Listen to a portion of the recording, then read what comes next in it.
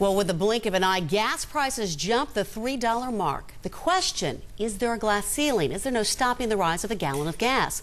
Well, the latest Lundberg survey shows that today's South Carolina average for regular self-serve 287 per gallon.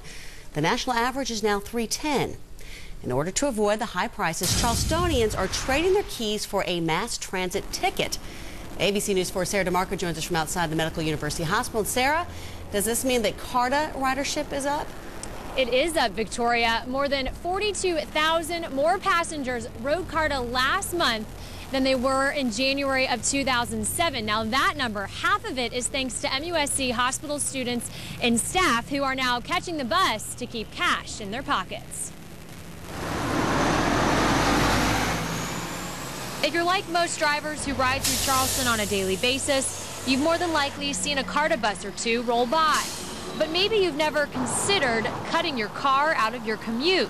For those who have, listen to the savings.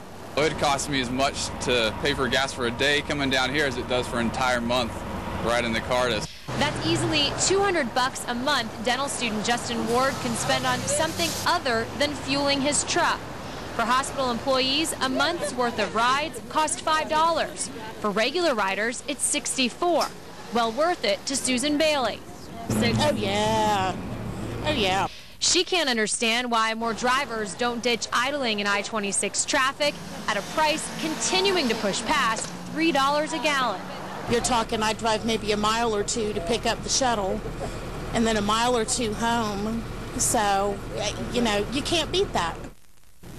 Right now, CARTA is offering these express routes from places like James Island and Mount Pleasant where these commuters can park their cars and then get on the bus. This program's only been around since last January, but the transit representatives, they tell us that thanks to this program and higher gas prices, it is growing the Charleston transit system. Ridership is up 16% compared to last year.